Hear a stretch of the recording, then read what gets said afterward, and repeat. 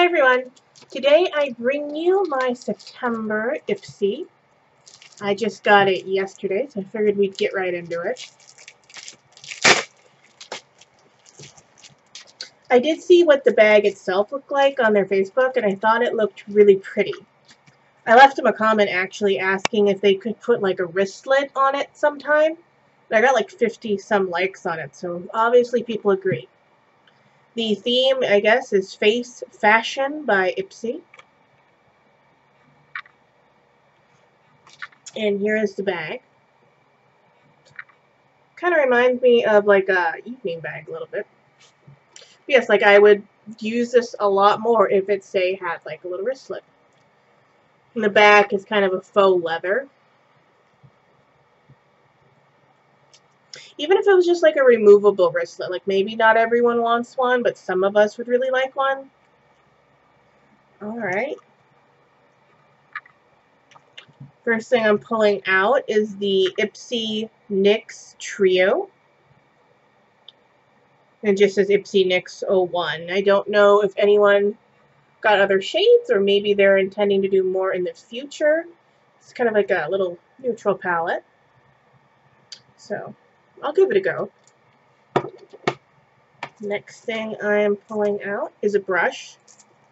It is a crown brush. It's a concealer, an oval concealer brush.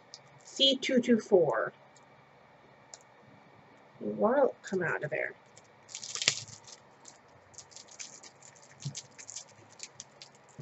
Don't actually use a lot of concealer brushes, but I can mean to try and switch that around. There's the brush.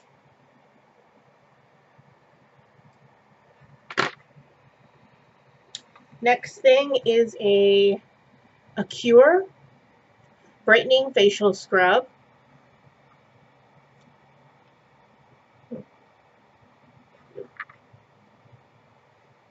My lighting is terrible today. It's been storming all day.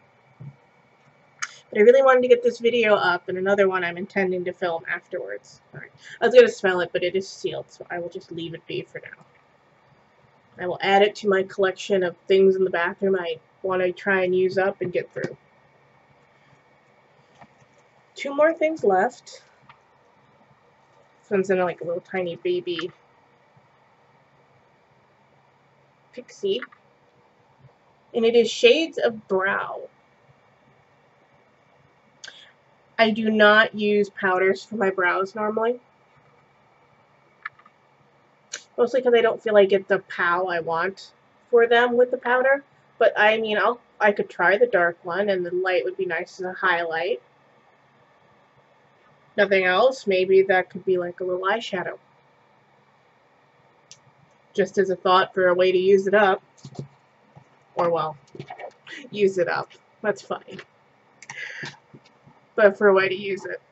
and the last thing, and I've gotten this brand before, and it was the same kind of uh, like a little faker faker on the, this is, doesn't have a cap, haha, fooled you. Um, and I think I butchered their name last time. I'm just not gonna. There's the brand. Kind of out of focus, but go with me on that. This one, I think last time it was an eyeshadow. This one is a mini matte lip crayon in Nantucket Nude.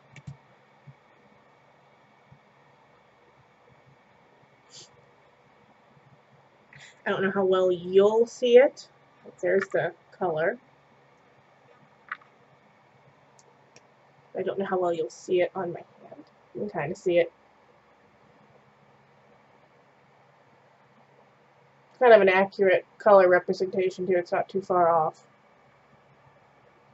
It's not what I would reach for a lot, but I would definitely, I mean, I'll definitely try it. And I'm actually, I think, a lot more happier this time that it is a lip crayon and not an eyeshadow.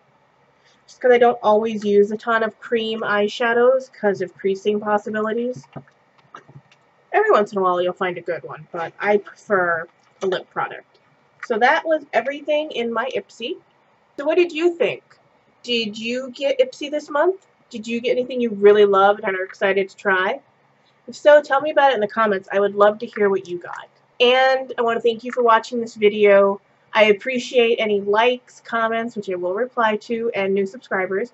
And if you want to share this video, feel free. And I always forget to say that Ipsy is a $10 monthly subscription service of beauty products, usually four to five products.